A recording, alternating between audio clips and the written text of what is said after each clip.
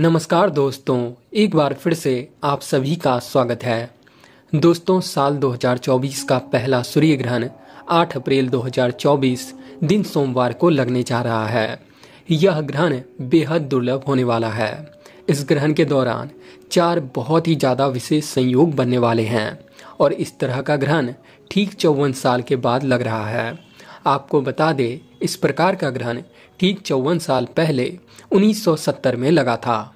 और आने वाले भविष्य में इस प्रकार का ग्रहण सन 2150 ईस्वी में दिखाई देगा। दोस्तों, साल 2024 का पहला चंद्र ग्रहण 25 मार्च 2024 दिन सोमवार को लगा था। और अब इसके ठीक 14 दिन बाद साल का पहला सूर्य ग्रहण 8 अप्रैल 2024 दिन सोमवार को लगेगा। यानी कि दोस्तों दो ग्रहण पंद्रह दिन के अंदर लगे हैं और दोनों दिन सोमवार को ही पड़े हैं। दोस्तों, ज्योतिष शास्त्रियों का कहना है, यदि पंद्रह दिन में दो ग्रहण लगे और दोनों एक ही दिन पड़े तो यह बेहद दुर्लभ घटना होती है।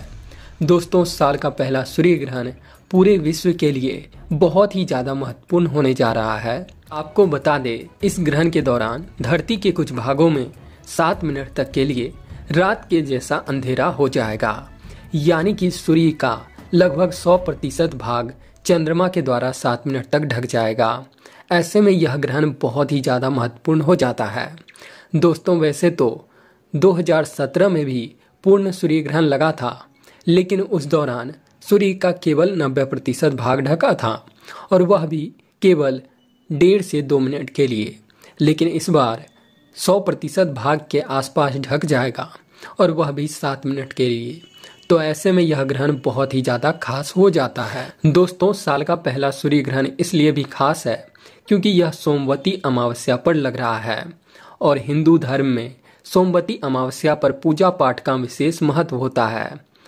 ऐसे में ग्रहण की जानकारी बहुत ही ज़्यादा महत्वपूर्ण हो जाती है।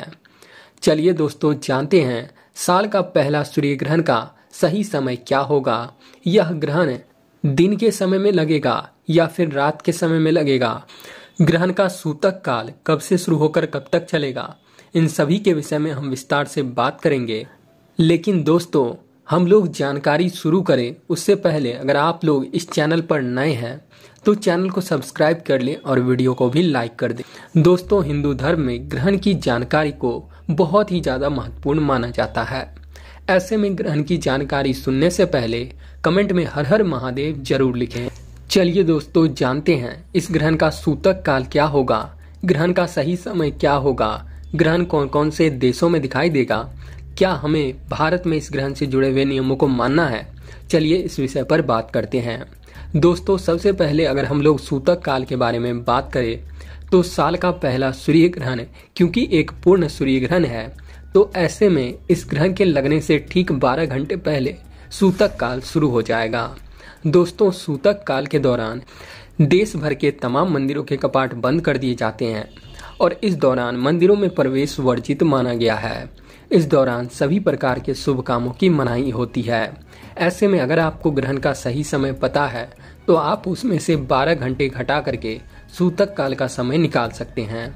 हालाँकि दोस्तों, सूतक काल केवल उन्हीं देशों में मान्य होता है, जहाँ पर कि ग्रहण दिखाई देता है।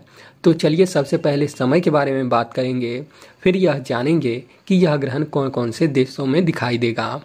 दोस्तों, अगर हम सूर्य ग्रहण के समय के विषय में बात करें तो साल का पहला सूर्य ग्रहण 8 अप्रैल 2024 रात नौ बजकर बारह मिनट से शुरू हो जाएगा। जी हाँ दोस्तों, यह सूर्य ग्रहण रात के समय में लग रहा है।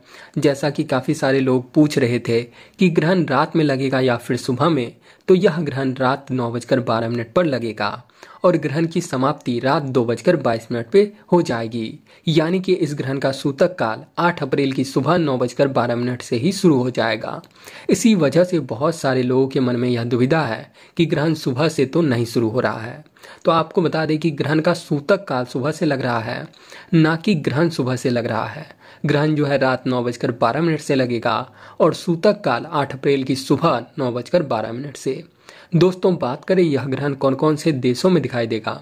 तो यह ग्रहण Europe, North America, South America, इसी के साथ साथ यूरोप के अन्य भागों में भी दिखाई देगा। दोस्तों, इस ग्रहण को the great solar eclipse of North America कहा जा रहा है, क्योंकि यह नॉर्थ अमेरिका में बहुत लंबे समय के लिए दिखने वाला है। हालाँकि यह ग्रहण भारत में नहीं दिखाई देगा। ऐसे में इस ग्रहण का प्रभाव भारत पर नहीं पड़ेगा। अब सवाल है, क्या हमें इस ग्रहण से जुड़े हुए नियमों को मानना है? तो दोस्तों, इसको लेकर ज्योतिष शास्त्री दो भागों में बटे हुए हैं। जहाँ कुछ ज्योतिष शास्त्रियों का कहना है कि ग्रहण अगर हमारे देश में नहीं लगे तो इससे जुड़े हुए नियमों को हमें नहीं मानना चाहिए। वहीं पर कुछ ज्योतिष शास्त्रियों का कहना है क्योंकि भगवान सूर्य केवल एक ही हैं तो ऐसे में ग्रहण किसी भी देश में लगे तो हमें ग्रहण से जुड़े हुए नियमों को मानना चाहिए।